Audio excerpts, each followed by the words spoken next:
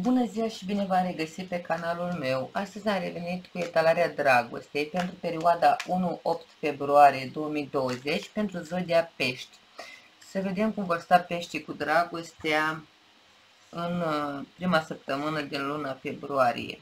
Până voi trage toate cărțile, vreau să vă mulțumesc tuturor celor care m-ați urmărit, mă urmăresc și mă veți urmări de acum. Și nu uitați să-mi lăsați un coment, un like și să vă abonați canalului meu dacă vă place ceea ce fac. Iar pentru cei care doresc o etalare privată, la uh, sfârșitul acestui video veți avea uh, informațiile necesare pentru a lua legătura cu mine. Bun, să vedem cum vor sta peștii în prima săptămână din, uh, din uh, luna februarie. Cu dragostea. Vor avea un început, unii dintre ei, veți avea un început, unii dintre dumneavoastră foarte fericit, foarte împlinit. Uh, alții dintre dumneavoastră poate cereți sfaturi vis-a-vis -vis de persoană din viața dumneavoastră, posibil în zodii de pământ, taur, fecioară, capricorn. Bun, în primul rând vreau să vă spun că vă văd uh, foarte încrezători pe unii dintre dumneavoastră, plini de curaj, optimiști, uh, o îmbunătățire într-o relație sau în viața dumneavoastră sentimentală. Uh, cereți sfaturi, uh, văd reuniune cu oameni de jurul dumneavoastră cu care vă sfătuiți vis-a-vis de o persoană, vis-a-vis -vis de o relație. Um, probabil că despre o persoană în zodie de pământ, taur, fecioară, capricorn. În unele cazuri, în alte cazuri vorbim despre persoane în zodie de aer, gemeni, balanță, vărsător. Uh, pentru persoanele care au, sunt într-o relație cu o persoană în uh, zodie de pământ, Taur, Fecioară, Capricorn, să știți că această persoană are o siguranță financiară foarte bună. Uh, este o persoană foarte muncitoare, poate avea și propria afacere, nu îi lipsesc bani. În schimb, are probleme de comunicare și uh, în a-și exprima sentimentele față de dumneavoastră. Iar pentru persoanele care sunt într-o relație cu o zodie de aer, uh, unii dintre dumneavoastră poate sunteți cu persoane mai imature sau pur și simplu uh, aceste persoane pot fi mature, 30, 40, 50 de ani, doar că au momente când se copilăresc, ca să zic așa, se uh, alintă cum ar face un adolescent. Ei bine, alții dintre dumneavoastră uh, poate um, vă doriți uh, un copil, dar uh, ideea e că aveți, mai, aveți nevoie de mai multe informații vis-a-vis -vis de acest lucru. Vreți să, să vă gândiți mai mult vis-a-vis -vis de acest lucru până veți lua această hotărâre. Momentan vă veți bucura de iubirea aceasta împărtășită. Primiți și dăruiți iubire de la persoana lângă dumneavoastră.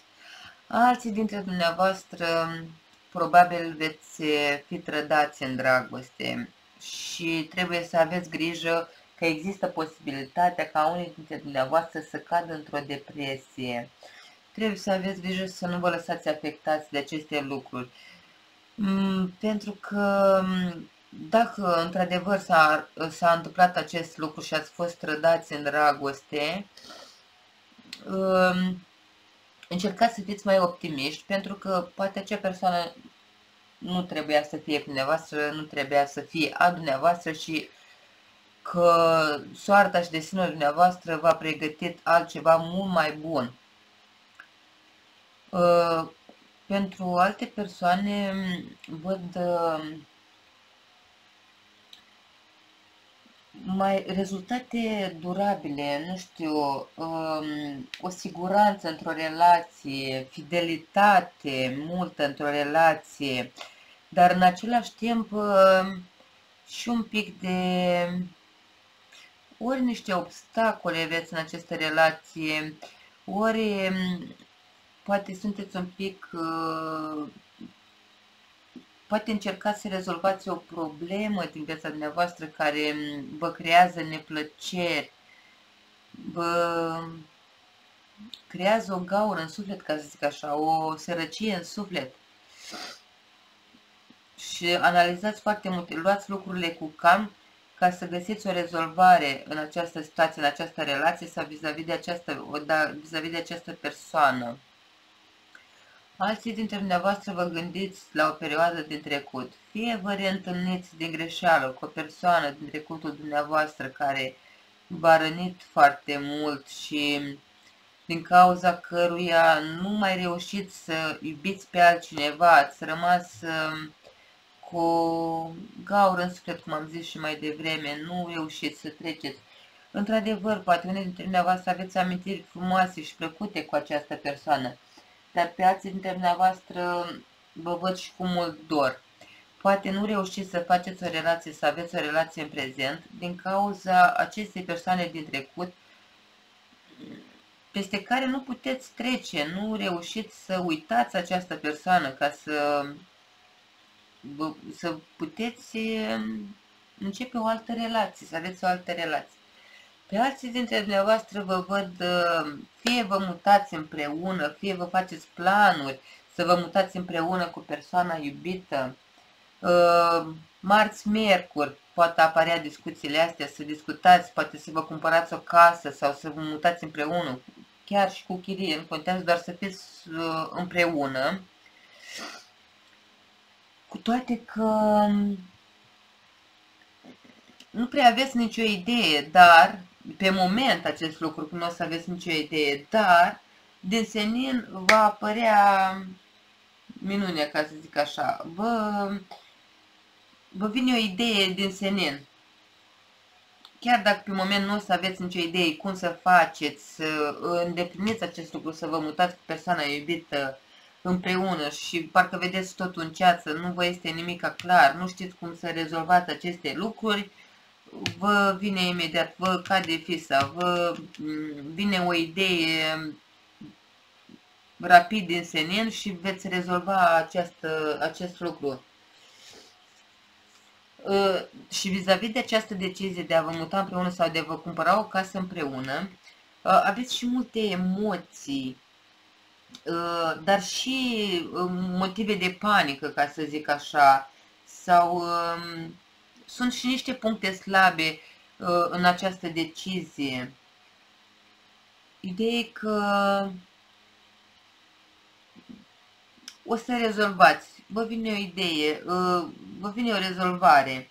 Uh, se clarifică această situație și deciziile vor fi clare și ferme.